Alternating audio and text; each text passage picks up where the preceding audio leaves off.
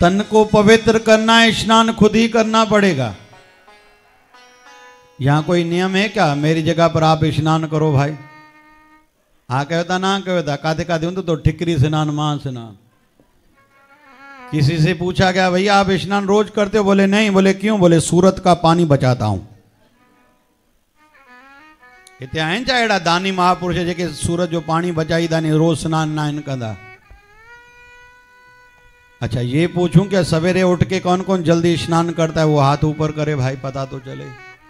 अरे वाह, twenty percent तो है ना उनके लिए। जोरदार तालियाँ बजाओ, भाई।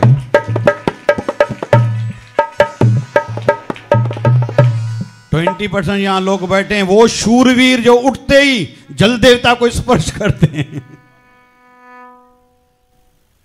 तो तन को पवित्र करना है, स्नान खुद ही करना पड़ेगा। मन को पवित्र करना है तो नाम जप। ज़ोर से कहिए ना, अपना ही काम आएगा। धन को पवित्र करना है तो दान खुद ही करना पड़ेगा।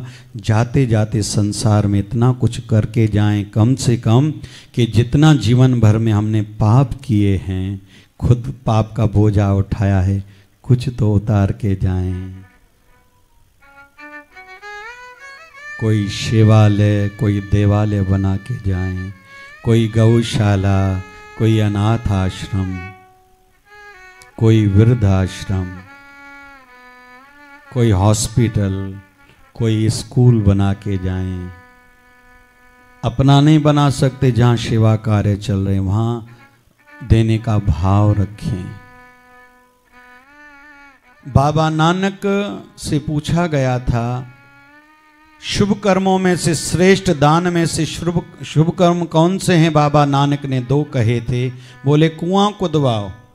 उस समय पानी का अभाव था कि आता जाता कोई यात्री पानी पिएगा, प्यास बुझाएगा। जिसने कुआँ कुदवाया उसको पुण्य मिलेगा, भले वो इस जन्म में हो या शरीर त्याग चुका हो।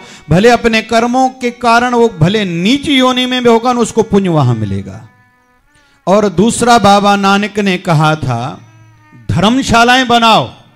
ये उस समय की बातें हैं कि यात्रियों को जैसे ठहरने के लिए एक ठिकाना मिले, पुण्य मिलेगा। तो निवेदन है कुछ न कुछ जीवन में करने का भाव रखना चाहिए।